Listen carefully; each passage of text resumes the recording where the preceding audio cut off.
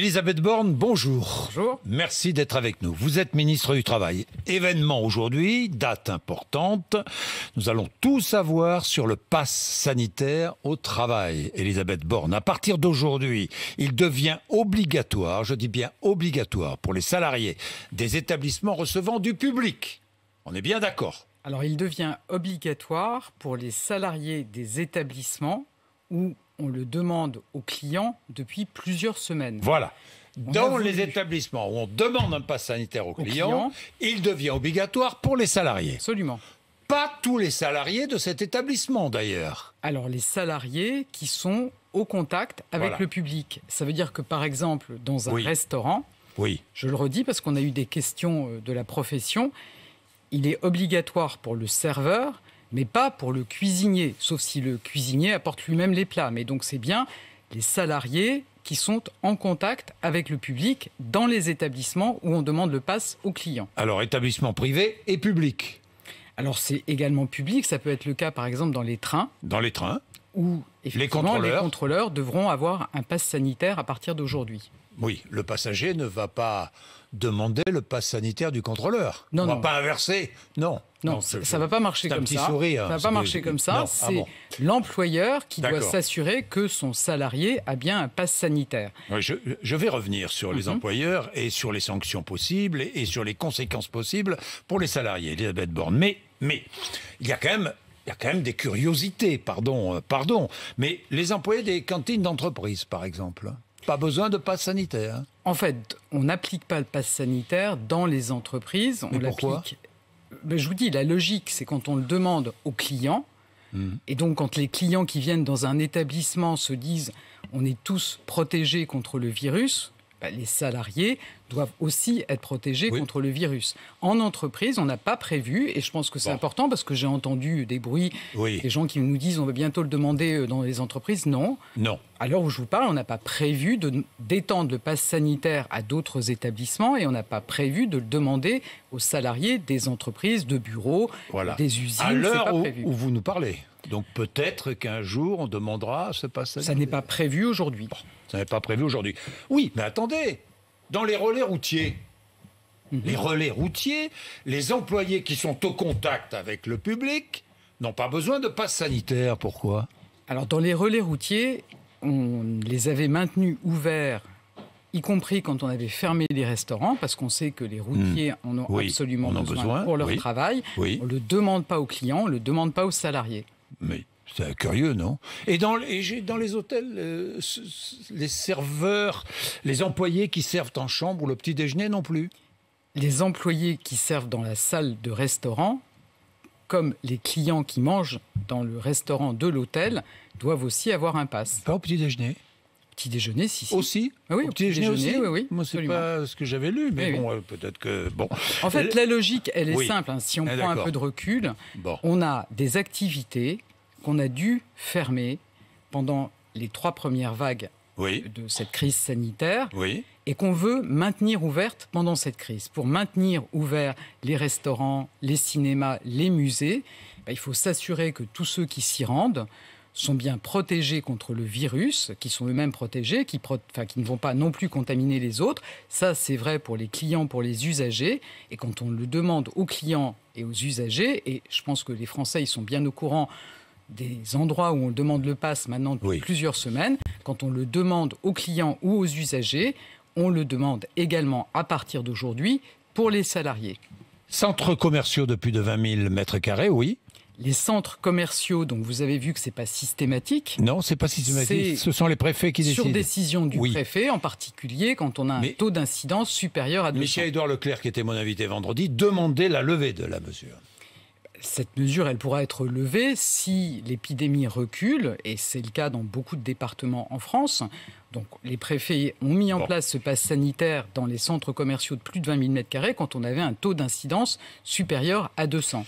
Bien, alors qui va contrôler le pass sanitaire de ces salariés? Bah, C'est l'employeur, évidemment. Euh, le salarié risque des sanctions, l'employeur risque aussi des sanctions, notamment une fermeture administrative. Si ces salariés ne présentent pas, euh, salariés au contact avec le public ne présentent pas de passe sanitaire, euh, et le salarié qui ne veut pas euh, se faire vacciner, par exemple, qui ne veut pas présenter de passe sanitaire, euh, il risque quoi Une suspension du contrat de travail? Peut-être. Moi, je voudrais dire qu'il y avait de l'inquiétude quand on a mis en, place, en place le pass sanitaire pour les clients. Ce qu'on constate, c'est que ça s'est bien passé parce que les Français comprennent qu'on n'a pas le choix. Hmm. Si on veut continuer à vivre normalement, si on veut aussi maintenir notre mais ça encourage la vaccination, le pass sanitaire. Bien sûr, mais c'est que les choses soient claires. Un des objectifs. Enfin, vous savez, on a aujourd'hui un outil qu'on n'avait pas dans les vagues précédentes, c'est la vaccination. L'objectif, c'est vraiment que tout le monde s'en empare. Et moi, je suis confiante pour les salariés, parce que vous savez, il y a aujourd'hui près de 45 millions de salariés, pardon, de Français qui sont totalement vaccinés. Donc tous, tous ces salariés, en l'occurrence, pourront produire un pass sanitaire sur cette base. Mais certains ne veulent pas. Et puis, bah, ceux qui ne sont pas encore vaccinés, ils peuvent aussi avoir un test négatif de moins de trois jours. Oui, et moi j'insiste. faire un test tous les trois jours. J'insiste sur le fait qu'on a test prévu. gratuit tous les trois jours. Un test tous les trois jours. Ça. continue à coûter une fortune. On a aussi prévu dans la loi beaucoup de solutions pour l'employeur et le salarié. Par exemple, que le salarié puisse hmm. poser des RTT ou des jours de congé euh, s'il n'est pas, pas, encore en situation de produire son passe sanitaire, l'idée c'est qu'il se, enfin, c'est de lui donner du temps pour qu'il trouve le bon chemin pour pouvoir produire son pour qu'il se vaccine, quoi. Dites, carrément les choses. Ah, mais je pense que la bonne solution, mais la bonne c'est de pousser les salariés à la vaccination. vous savez, enfin, je pense qu'il n'y a, a, pas d'ambiguïté. Hein. Le président de la République l'a bien dit euh, le 12 juillet. On souhaite qu'un maximum de Français se fassent vacciner. Depuis le 12 juillet, il y a 12 millions de Français qui ont été se faire vacciner.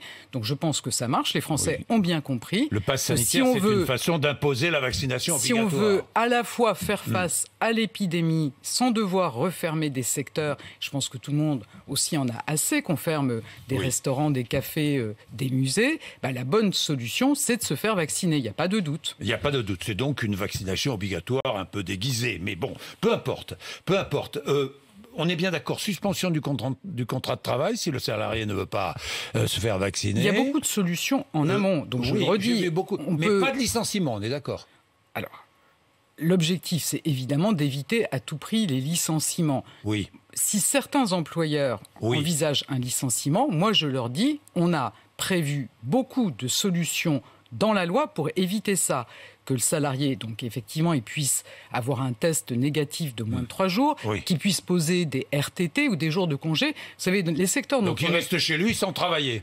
Il peut poser des jours de congé et les secteurs dont on est en train de parler, ils hmm. ont été fermés de longs mois. Donc les salariés ont accumulé des congés, bah, ils peuvent les utiliser pour avoir un peu plus de temps pour se conformer à leurs obligations. Ils peuvent aussi demander.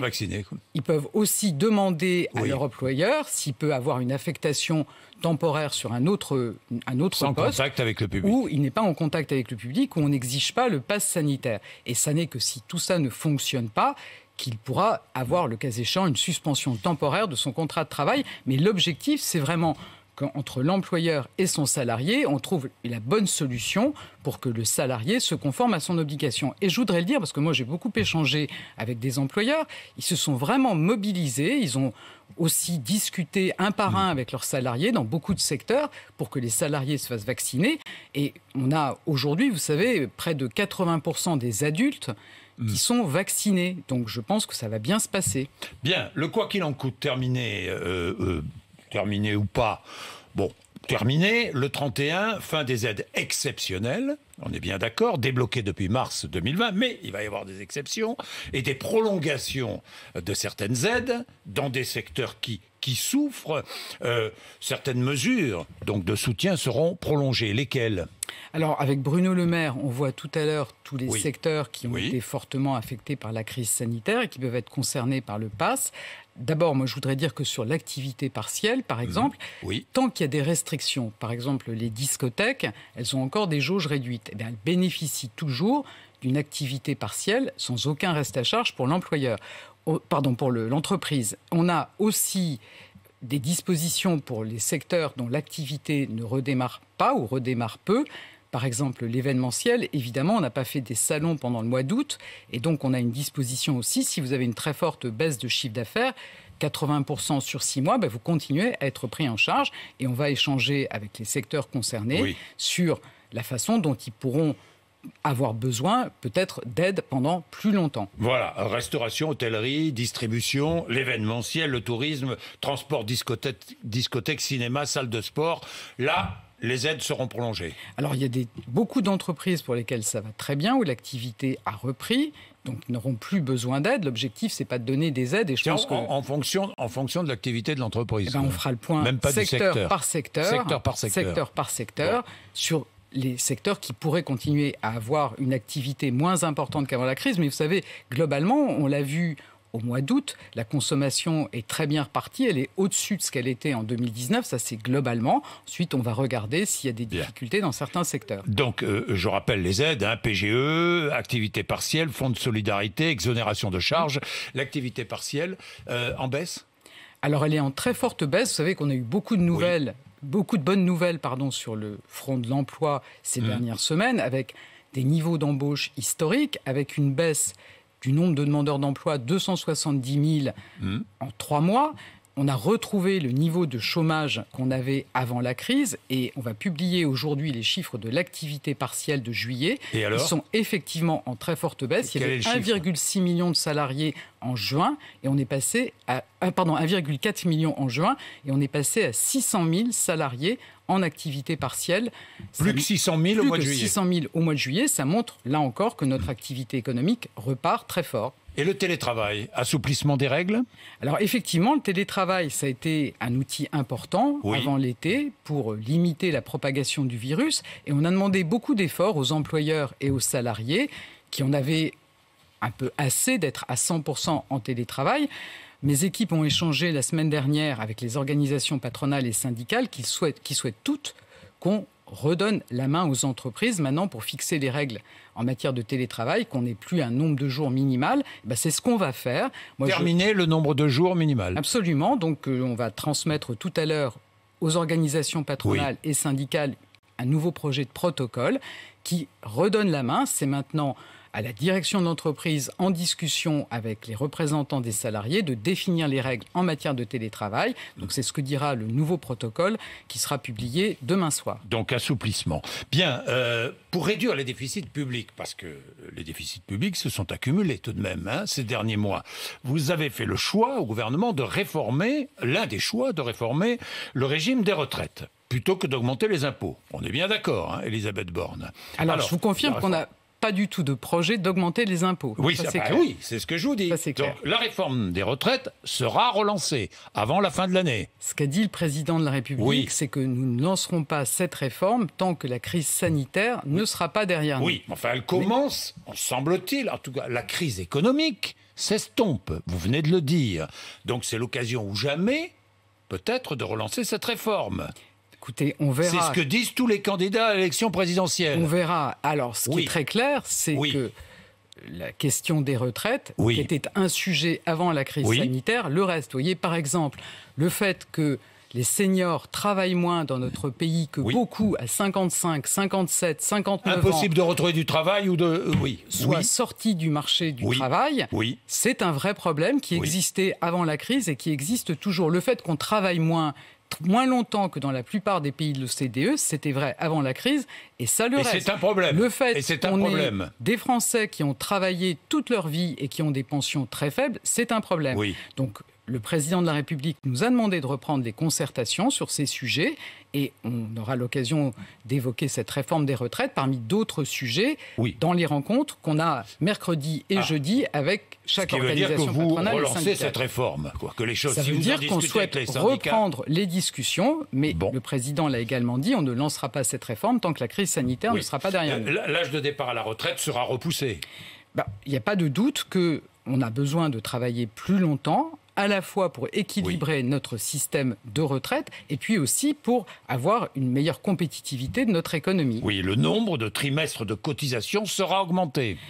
Je vous dis qu'on a besoin de travailler plus longtemps, c'est un, un, des aspects, tout comme le travail des seniors, tout comme la nécessité d'avoir des pensions digne quand on a travaillé toute sa vie. bien sûr. Réforme de l'assurance chômage, application le 1er octobre, vous confirmez? Donc je vous confirme, vous savez, cette réforme, elle est largement rentrée en application depuis le 1er juillet, avec notamment le bonus-malus pour inciter les entreprises à proposer des contrats plus longs. Oubliez les remarques du Conseil d'État. Mais le Conseil d'État avait, a suspendu le nouveau mode de calcul de l'allocation chômage en considérant que la situation économique n'était pas bonne.